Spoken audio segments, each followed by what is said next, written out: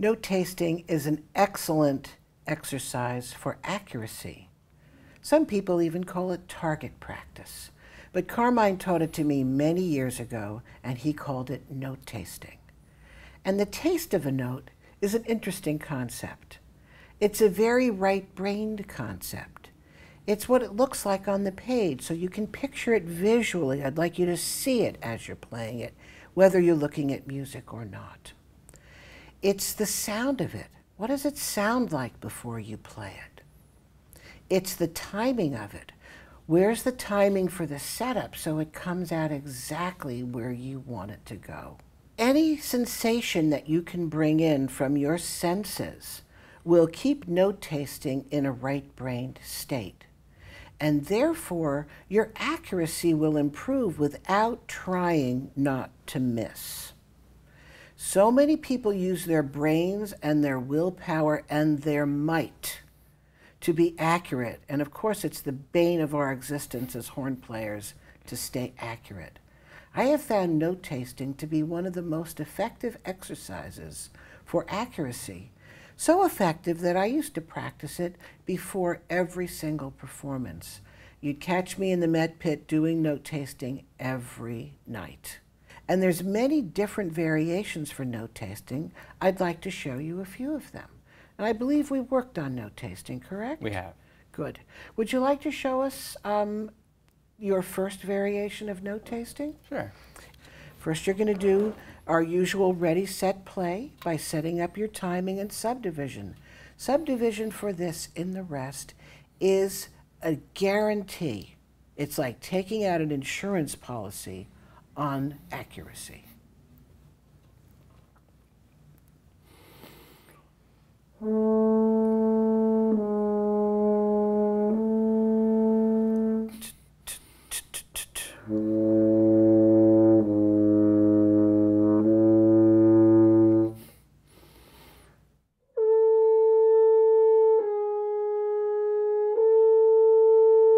Be ready early.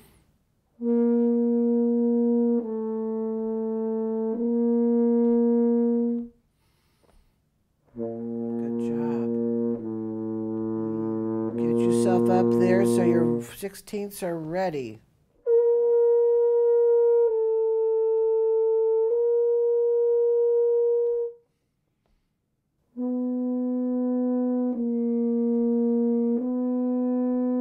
Subdivide carefully. See the note in your mind's eye before you play it.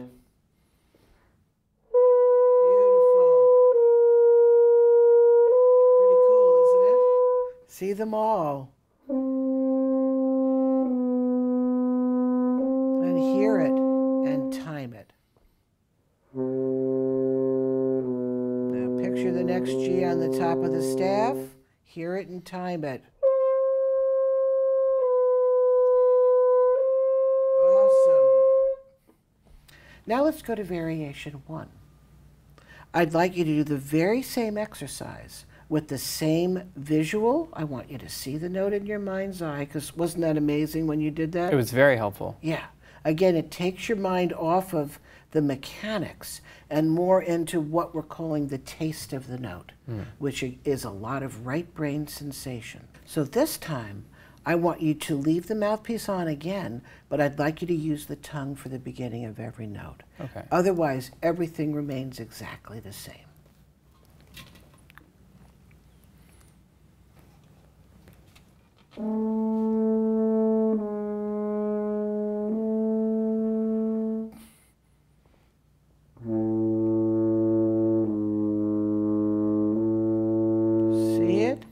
It, feel it.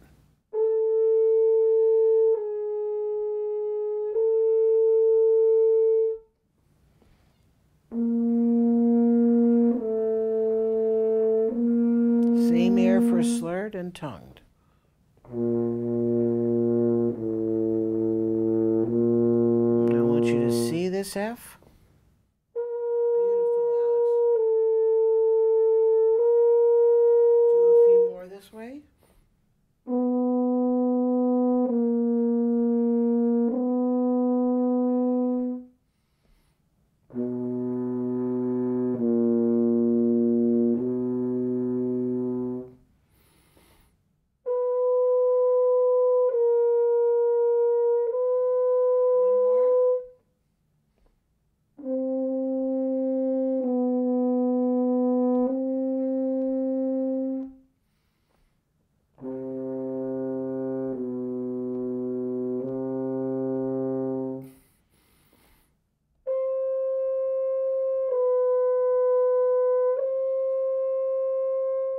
Can see in your concentration how focused you are. Where is your focus? Well, I'm seeing a visual of where the note would be on the page, Mm-hmm. and I'm hearing the pitch that I want to come out the instrument, Mm-hmm. and I'm subdividing. Awesome. See what I mean by an insurance policy on Yeah. accuracy? It keeps you busy. There's no room or time to think about your chops when you're doing those things. Correct. Not only that, but it's focusing on the right things. Yeah. So that again, you're reflex training how to attack a note without how to attack a note. Right? Yeah. It's, a, it's an interesting, magical concept. I love note tasting. So let's now go to the next variation. Okay. This time I want you to take the mouthpiece off and the two beats rest. We're going to do the same order, breath attack first. Okay.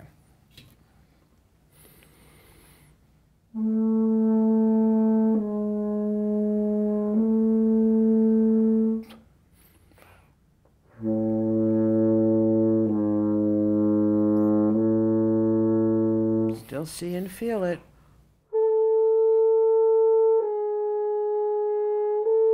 It's the same concentration as before. Beautiful.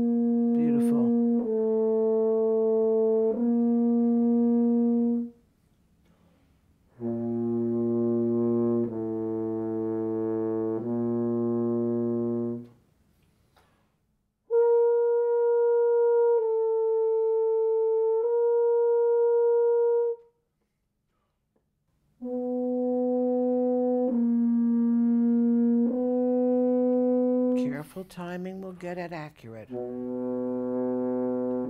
Diligent subdivision.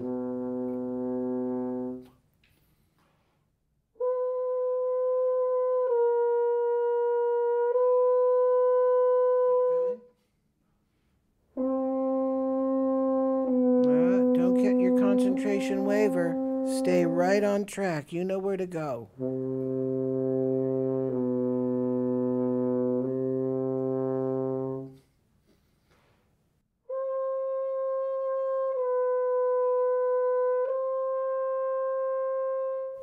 Job. Thank you. Very good job. And now we have our next variation where you take it off in between and you tongue the note. Exactly the same rules apply. The timing is so essential. That's your focus. If you stay right there and yet da da da play and you can see it and hear it, it'll be there. Okay.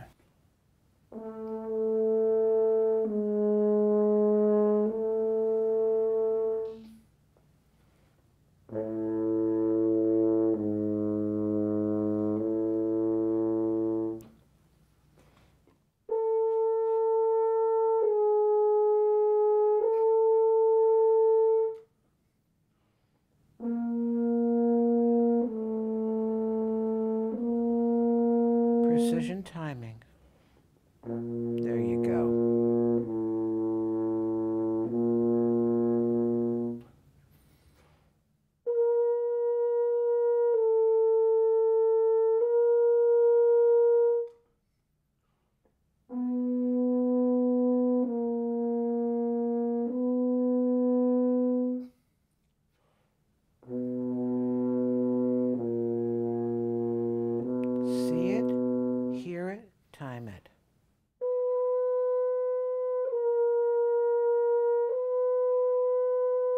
One more.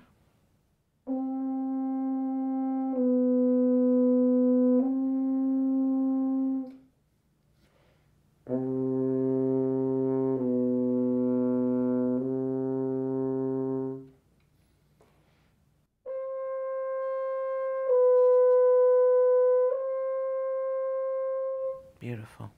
How was that for you, Alex? It was challenging to keep my mind in the right place. And the right place is, tell us one more time. Feeling the time, especially subdividing right up until the moment you hear the sound coming out the bell. It's easy to get distracted in those final moments before something's supposed to happen.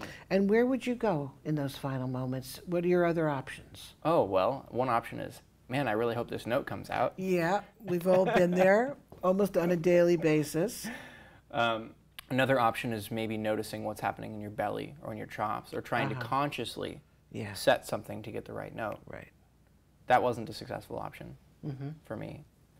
Um, and then I found the right place to go. Oh, another option was hearing it and seeing it so much that I forgot to subdivide. Mm-hmm. And that didn't work so well for me. Mm-hmm. But when I found the right combination of hearing it, seeing it, and remembering to subdivide, it came out almost as if I weren't playing the horn. Yeah. And it sounded that way. It's so cool, isn't it? It's great. It's a bit of a miraculous exercise. Again, I call it my insurance policy with accuracy. Because if you can get all of those elements in the same place at the same time and just let it happen, it's like you let it go. It's about being in the process, not the result. Quite zen. Indeed. Yeah. One thing I want to mention is that Carmine's book, for which he based a lot of his method, was Zen in the Art of Archery by Eugene Herrigel. Oh, I've read it. Does it make sense to you now? It does. Doesn't he actually hit bullseyes blindfolded? Yeah, he does. Would you consider this exercise to be very similar to that? It does feel blindfolded. You Right. really have to trust that it's going to come out. Trust. Trust the process. And when you do that, it works like magic. I can't say enough good things about it. Any questions about note tasting? How do you practice note tasting? Do you do every variation every day? I usually choose one variation. However, it's really fun when I'm teaching it to a student to mix it up. And I give them commands at the last possible second. Take it off, put it on, breath attack, use your tongue, so that they have no time to plan or think about it, that it's all reflexively trained. They have to be in very much autopilot with the timing, the seeing, and the hearing. So that's a fun activity you could do with a partner, just like the arpeggios down. Yes, exactly. It's something you can ask of a friend, and they can keep you honest. Because when you do it for yourself, you might get a little too easygoing. So you want to stay very much strictly in the process. This way, you treat your playing in a sports like manner of reflexive training, and your body will learn to respond without thought and just a reflex. Hmm. And that is the beauty of the Carmine Caruso method as it has served me since I was 13 years old.